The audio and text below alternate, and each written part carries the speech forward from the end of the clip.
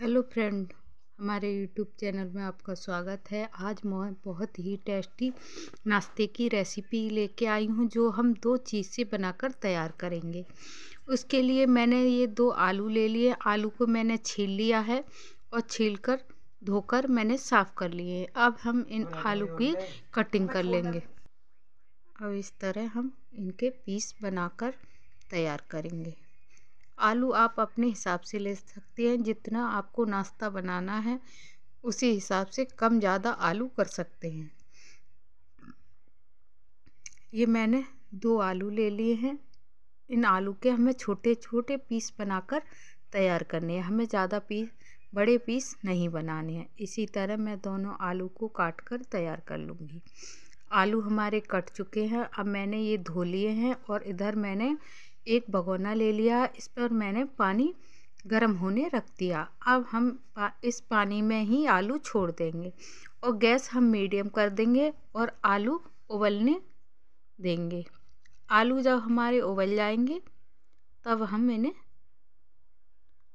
आलू हमारे उबल चुके हैं, अब हम इन्हें ठंडा होने के लिए छोड़ देंगे। देखो, आलू बहुत अच्छी तरह से उबल गए हैं। हमें इतने ही आलू उबालने हैं।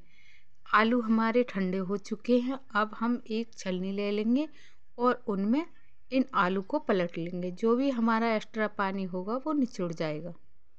इस तरह मैं छान कर और आलू तैयार कर लूँगी।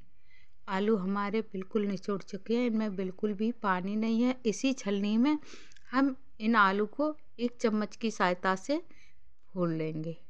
आलू हमारे बिल्कुल तैयार कर ली है। इस तरह आलू हमें तैयार करने हैं। इसमें हमें बिल्कुल भी गांठ आलू में नहीं होना चाहिए। बहुत बारीक आलू हमें इस नाश्ते को चाहिए। अब मैंने ये अरारोट ले लिया है। अरारोट में पहले चार चम्मच डाल लूँगी, फिर देखूँगी। अगर और पड़ेगा तो और डाल लूँगी। और एक चम्मच मैंने ये मैदा ले ली है। अब इन सबको हम खूब अच्छी तरह मिला लेंगे। अगर कम लगेगा तो अरारोट हम डालेंगे, मैदा हम नहीं डालेंगे, मैदा हम इतनी ही रखेंगे। वो आलू पे डिपेंड करता है कि कितना अरारोट लगेगा। अब इस तरह मैं खूब अच्छी तरह मिला लूँगी। अरारोट मैंने दो चम्मच और डाल लिया था और ये बहुत अच्छा डो बनकर तैयार हो गया। अब मैं इसमें हल्का सा नमक डाल लूँगी। इस डो को हमें बहुत चिकना चाहिए और चिकना ही मैं बनाकर तैयार करूँगी। अब हल्का सा नमक डालकर इसे मिला लूँगी खूब अच्छी तरह। नमक मैंने मिला लिया है, अब मैं इसकी पीस बनाऊँगी।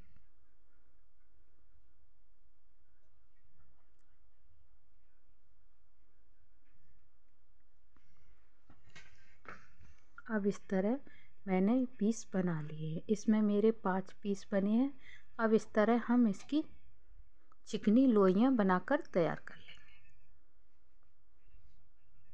ये बहुत ही कम टाइम में और कम सामान में बनकर तैयार हो जाएगा हमारा नाश्ता।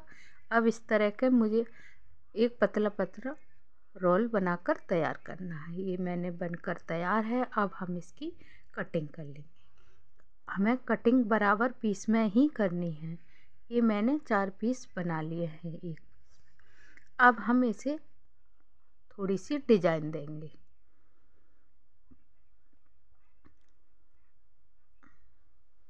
इस तरह से हम इस चम्मच से दोनों तरफ़ से हल्के हाथ से ही दबाना है, ज़्यादा टाइट हाथ से नहीं दबाना है। ये हमारा इस तरह का नाश्ता बनकर तैयार होगा। देखने में बहुत सुंदर लगेगा। लोग आपसे पूछेंगे कि ये नाश्ता आपने कैसे बनाया है। इसी तरह मैं सारे नाश्ते को बनाकर तैयार करूँगी। और वाकई में इतना टेस्टी नाश्ता बनकर तैयार हुआ था कि सभी ने बहुत तारीफ़ करी थी कि नाश्ता बहुत अच्छा बना और कम टाइम में, कम सामान में नाश्ता बनकर तैयार हो गया था। अब इस तरह ही मैं सारे पीस बनाकर तैयार कर लूँगी। मेरा सारा नाश्ता बनकर तैयार है। देखने में कितना सुंदर लग रहा है। बहुत सुंदर लग रहा है। और अब मैंने एक कढ़ाई ले ली है। कढ़ाई में मैंने दो गिलास पानी गर्म होने रख दिया है और एक चम्मच मैंने ऑयल लगा लिया। इस ऑयल को हम खूब अच्छी तरह मिला देंगे, जिससे सारे पानी में मिल जाए। अब जो हमने नाश्ता तैयार करा है, वो इसमें छोड़ देंगे। एक एक करके ही हमें सारा नाश्ता छोड़ना है, एक साथ नहीं पलटना है।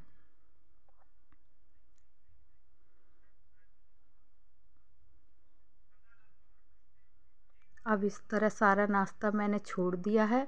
अब हम इसे एक उबाल आने तक इसका इंतज़ार करेंगे। उबाल आ गया है सारा नाश्ता हमारा ऊपर आ गया है। तो नाश्ता हमारा बहुत अच्छी तरह से उबल कर तैयार है। अब हम इस छलनी से इसे निकाल लेंगे। हमें एक एक पीस करके निकालना है, नहीं तो ये नाश्ता टूट भी सकता है। क्यों? अब, अभी गर्म है। ठंडा होने के बाद ये नाश्ता बिल्कुल नहीं टूटेगा। जैसा है, वैसा ही रहेगा। इसी तरह मैं सारा नाश्ता निकाल लूँगी। अब इधर मैंने एक कढ़ाई ले ली है। कढ़ाई में मैंने एक चम्मच ऑयल लगा लिया है और पाँच मैंने लहसुन की कलियाँ ली हैं जो बारीक बारीक काट ली हैं। अब इन्हें हम हल्का सा ब्राउन कर लेंगे। अब मैंने तीन हरी मिर्च ली हैं जो बीच में से चीर ली हैं। इन्हें भी हमने डाल दिया है। अगर आप बच्चों के लिए बना रहे हैं और कम तीखा पर खाना पसंद करते हैं तो आप मिर्चें कम भी कर सकते हैं। अब मैंने टमाटो केचप ले लिया है। तीन चम्मच मैंने ये डाल लिया है। और एक चम्मच मैंने सोया सॉस ले लिया है। और एक चम्मच मैंने विनेगर ले लिया है। और एक चम्मच ही मैंने चीनी ली है। अब जो पानी हमारा बचा हुआ था नाश्ता का, वो ले लिया है एक कटोरी। और इसमें एक चम्मच मैंने कश्मीरी मिर्च डाल ली है। एक चौथाई चम्मच मैंने कुटी हुई मिर्च डाल ली है। और हल्का सा नमक डाल लिया। नमक हमें कम ही डालना है, क्यों? नमक हमने पहले भी यूज़ कर चुके हैं।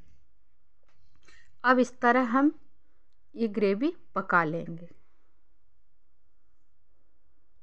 ग्रेवी हमारी पक चुकी है। अब इसमें हमने हरा प्याज काट कर डाल दिया है। इससे और अच्छा टेस्ट आएगा। ग्रेवी पककर तैयार है। अब हम इसे में नाश्ता डाल देंगे। नाश्ते को हमें हल्के हाथ से ही डालना है। वैसे ये नाश्ता हमारा टूटेगा नहीं, फिर भी हमें सावधानी से ये एक एक करके छुटाना है। कि हमने इसमें ऑयल लगा रखा है तो ये टूटेगा तो है नहीं। बस इसी तरह हम नाश्ते को आराम से छुटा लेंगे। अब हमारा जो और रह गया नाश्ता, वो भी इसमें डाल देंगे। हल्का सा हम इसे पका लेंगे।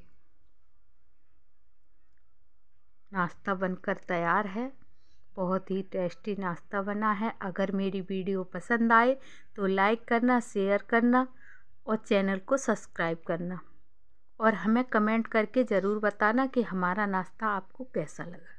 चलो, चलते हैं। कल हम आपसे